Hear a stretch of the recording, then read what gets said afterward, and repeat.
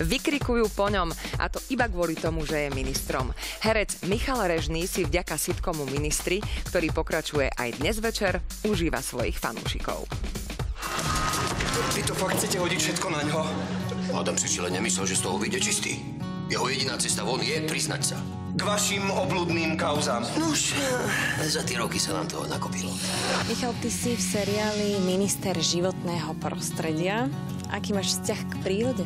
Vzťah k prírode mám pozitívny, to asi ja neviem, viem, že to veľa nehovorí, ale a netvrdím, že každý víkend trávim v prírode, ale a skôr mi je postava toho Daniela veľmi blízka, jeho uvažovaním a jeho nejakým mentálnym nastavením, než tým, že by som sa tak chorobne zaujímal o prírodu ako práve on.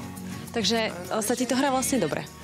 V podstate áno, tak lebo všetci sú to, všetci tí ministri sú vlastne predstaviteľmi nejaké lenivosti, korupcie, rôznych nerestí a ja vlastne predstavujem takú tú nejakú vlajkovú loď poctivosti, takže to je vlastne super, že môžem hrať poctivú postavu.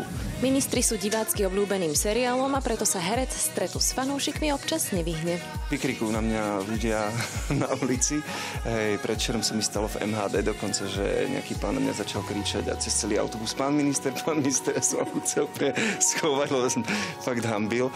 Ale je to tak, že ľudia, ľudia, ľudia kričia na ulici pán minister, tak je to také zvláštne, lebo minister nie som a teraz vlastne človek nevie, že čo má úplne povedať. Sympatický Michal ale berie všetko s humorom a svojich fanúšikov si váži. A mňa každá takáto reakcia vlastne poteší a tie reakcie sú vlastne pozitívne, všetky, ktorých som sa dočkal, takže mňa to samozrejme teší.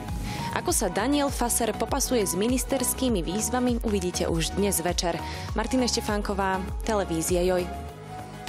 Zo sveta showbiznisu je to na dnes všetko. Majte sa krásne. Dovidenia.